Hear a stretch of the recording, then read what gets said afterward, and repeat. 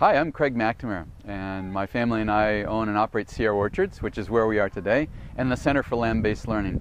We're really excited to uh, have been running this operation for 30 years, and one interesting thing about me is that I didn't come from a farm family, and I didn't marry into a farm family. So my beginnings were studying agriculture, appreciating it, wanting to uh, share that experience with people uh, from the cities, from the urban areas, and what we do at Sierra Orchards is grow walnuts. And one of the unique things about what we do is we do them organically.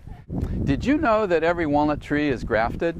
Actually, every tree that we enjoy uh, fruit from, whether it's a citrus fruit, a nectarine, a peach, a delicious apricot, they all are grafted onto rootstock.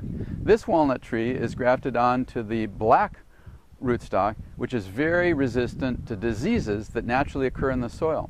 So what we get is the lower portion of the tree, from the trunk down, is the black walnut. We graft onto it the English, which is that tasty, sweet walnut that we're all uh, that we all enjoy to eat. And by the way, that walnut, if you eat just a little handful like that every day, will reduce your blood cholesterol by 12 percent.